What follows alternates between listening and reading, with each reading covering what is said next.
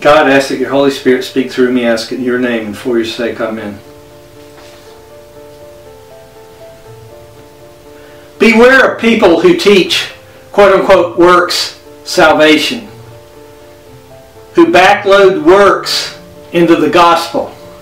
Beware of preachers who say you can lose salvation.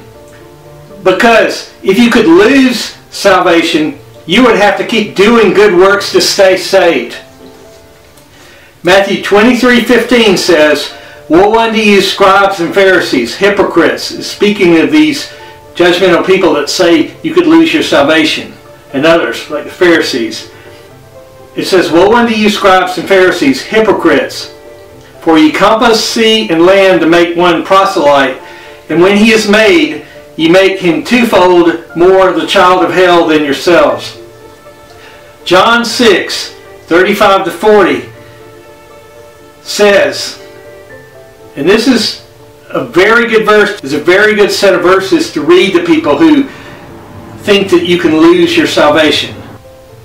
John 6, 35 to 40 says, John 6, 35 to 40 says, And Jesus said unto them, I am the bread of life.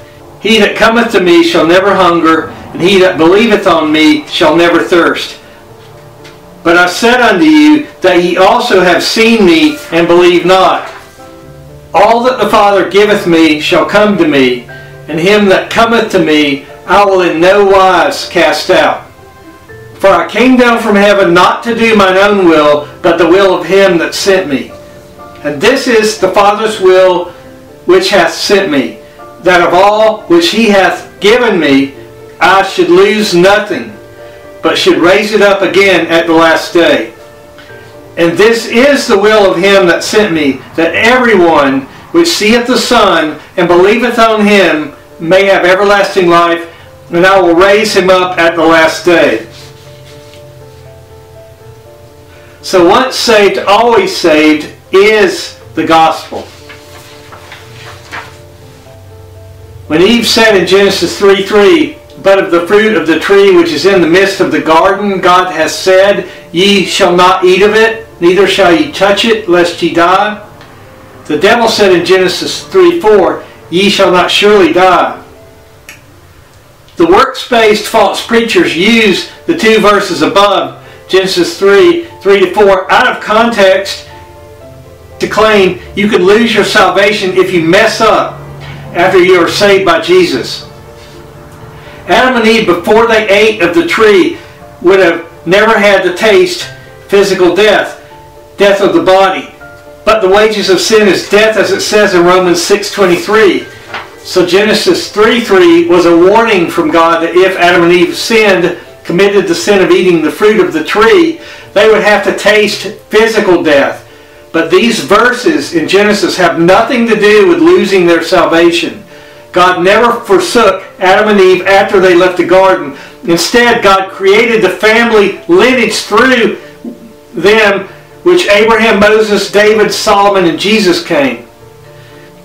Though Jesus Christ was born on this earth to Mary, Jesus is God and has always been, as it says in John 1 1. But the point is that God never forsook Adam and Eve because of their sins. And God will never forsake you and take your salvation away from you. And Jesus makes once saved, always saved plain in John 6, 37 to 40. Jesus said in John 19:30, "It is finished," which means that when he died on the cross and rose from the dead on the third day, that he paid the entire sin debt for anyone who sincerely calls out to him to save them. Because you see, a person couldn't even sincerely call out to Jesus to save them unless the Father was drawing them to in the first place, as it says in John 6:37.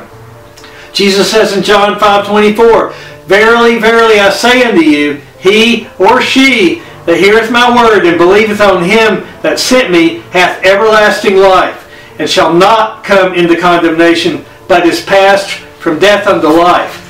In John 6:47, Jesus says, Verily, verily, I say unto you, he or she that believeth on me hath everlasting life.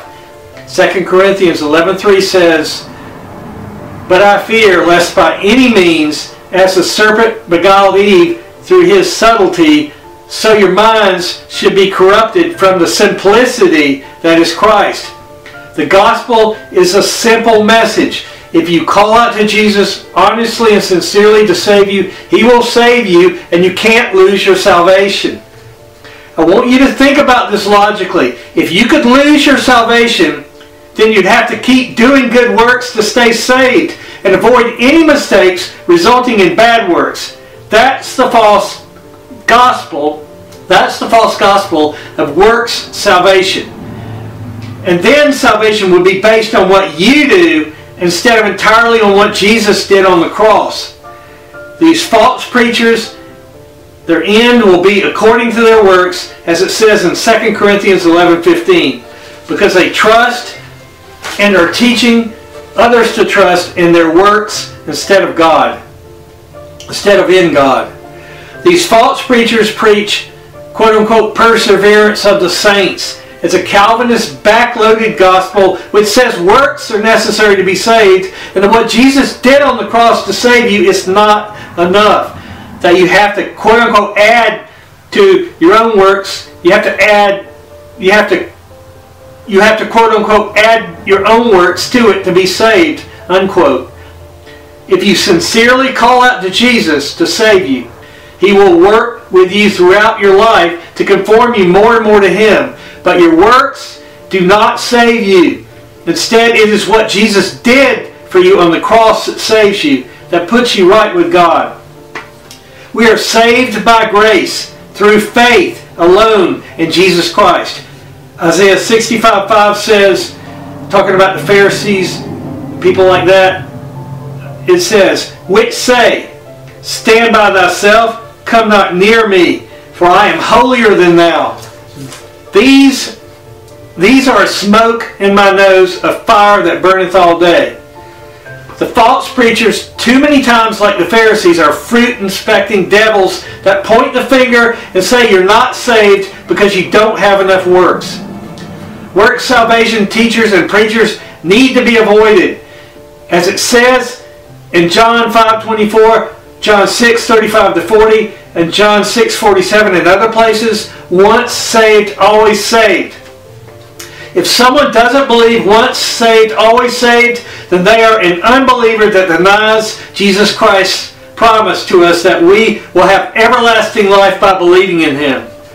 Remember the thief on the cross with Jesus who rebuked the other thief hanging beside Jesus on the cross. Didn't have the thief didn't have time to do any good works.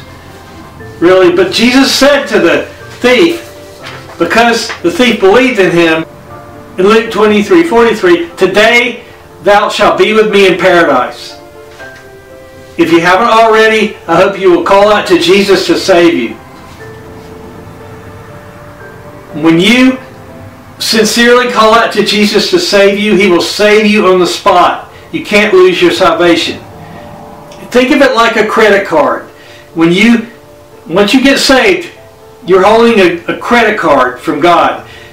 And if you make a mistake and you fall short, then Jesus turns to God the Father and says, charge it to my account on Calvary. And Jesus will work through you your whole life once you get saved to conform you to Him. You'll be more and more like the way He wants you to be each day of your life. And at the end, you'll go meet Him in heaven, and He'll, the Father will look in your heart, and He'll see His Son there in your heart, and you'll live in heaven forever with them.